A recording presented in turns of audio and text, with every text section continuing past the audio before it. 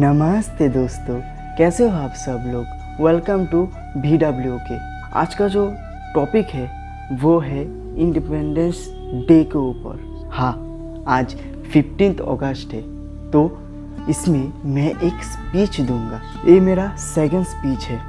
First speech मैं अपना college पे दिया था तो ये सेकंड स्पीच इस प्लेटफॉर्म पे मैं दे रहा हूँ। तो ये मैं ये नहीं बोलूँगा, मैं इस पर एक्सपर्ट हूँ।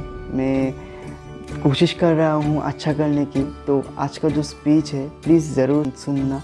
और मुझे बताना फीडबैक देना, एक कैसा लगा है आप लोगों को? और मेरी जो स्पीच है, अगर कोई गलती हो प्लीज़ मुझे माफ़ कर देना।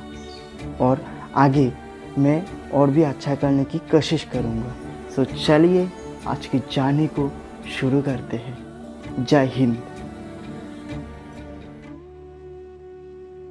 Good morning to everyone present here.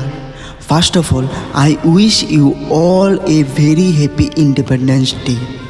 Today we are going to celebrate 75th Independence Day with a free morning and this freedom we got after facing many troubles and making many sacrifices. On this day, the British collapsed in our country and on August 15, 1947, our country became independent forever.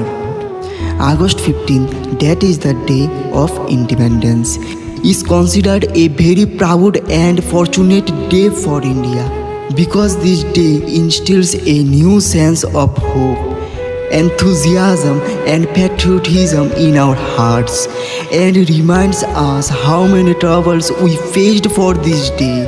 If we had to sacrifice our lives to achieve this freedom and to protect mother india we would give it with laughter. That is why we celebrate independence day with enthusiasm all over india